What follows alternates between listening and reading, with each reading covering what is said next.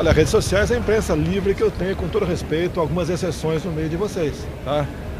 Agora, a bola está com ele, não está comigo. Eu já fiz a minha parte, entreguei, e o compromisso dele, regimental, é despachar e o projeto andar dentro da Câmara, ok? Nada mais, nada falei contra o Rodrigo Maia, muito pelo contrário, estou achando que está havendo um tremendo mal entendido. Ele ainda falou hoje que o Brasil em de guerra com a Venezuela.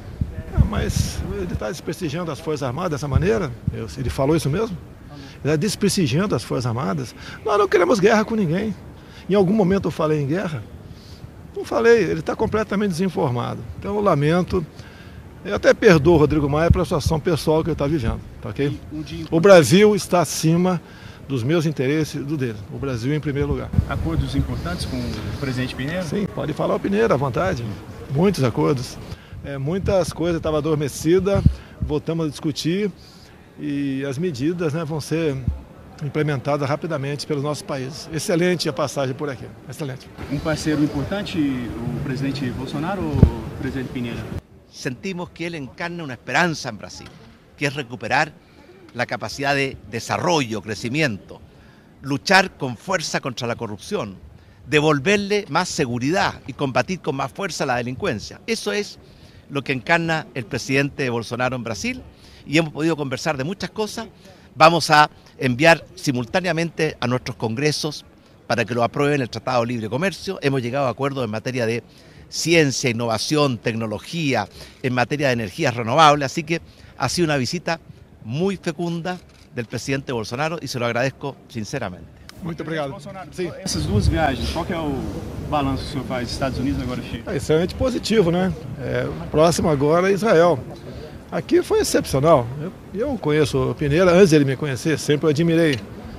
É, e o Chile, assim como o Paraguai, Argentina, é, Colômbia, o Brasil, estão tomando novos rumos na política. O rumo que estava vindo no passado nos conduzia a uma situação bastante complicada, onde os finalmente seria a perda da liberdade, como acontece atualmente na nossa querida Venezuela. Isso eu queria questionar. O senhor falou sobre COP25 durante o discurso, que virá até o fim hum. novamente. Não, não, eu não confirmei que viria, né? Eu vou ver se, caso possível, estarei presente. Mas é, estarei muito bem representado pelo nosso ministro das, é, do Meio Ambiente. Presidente, sobre Previdência, me perdoa se eu posso voltar nesse assunto. Lá em Brasília, enquanto o senhor está aqui, hum. a polêmica segue em relação à articulação, em relação ao presidente da Câmara. Ele chegou a dizer hoje que, é, em relação às declarações do senhor, que ele está convencido da necessidade da reforma. Falta o senhor se convencer. Olha, fizemos nossa parte, encaminhamos a proposta para o parlamento. A bola agora está com o parlamento. Eles vão, com toda certeza, aperfeiçoar, porque não somos, nós não somos perfeitos, e bola para frente. Agora, que, agora me desculpa, Délis, o que, que é articulação? O que, que é articulação? O que está faltando eu fazer? Eu pergunto para vocês o que foi feito no passado. Eu não seguirei o meu destino de ex-presidente, pode ter certeza nisso. Nós todos temos que pensar, desculpa Peneira, tá lá no Brasil, pensar no nosso país. Fortalecer o nosso país. É, não são todos, mas alguns é, não estão acostumados com a nova forma de fazer política. A anterior deu errado. E olha onde estão os ex-presidentes. Eu não quero ir para lá, até que não irei para lá por esses mesmos erros, tá? jamais. O Brasil é maior que todos nós. É, Rodrigo Maia nunca o critiquei nas mídias sociais. Não, eu não o critiquei, nada isso aconteceu. Eu não sei porquê ele de repente está se comportando dessa forma um tanto quanto agressivo no tocante à minha pessoa. Falando que seria melhor que o senhor largasse o Twitter e começasse a fazer essa articulação pessoalmente assim que voltasse ao Brasil. O Twitter eu uso 20 minutos por dia, não mais do que isso.